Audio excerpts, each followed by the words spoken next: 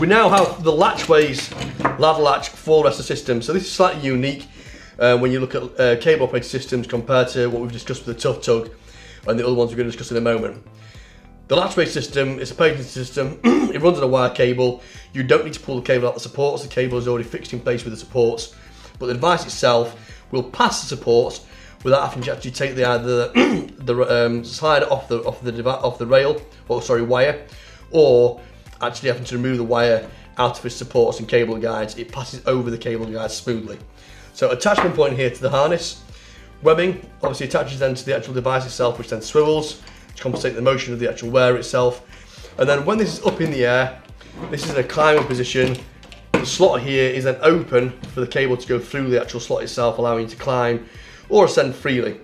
But when you then break, when you then fall, this breaks the fall and jams the system, so it jams it against the wire and again arrests your fall. This device is opened up using a button at the back here, which you would then press in.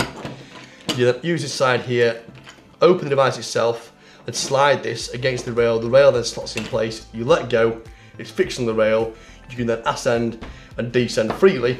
At the same time, if you then fall, this will then break the fall, jam against the wire and break your fall. So this is the Latchways Ladder Latch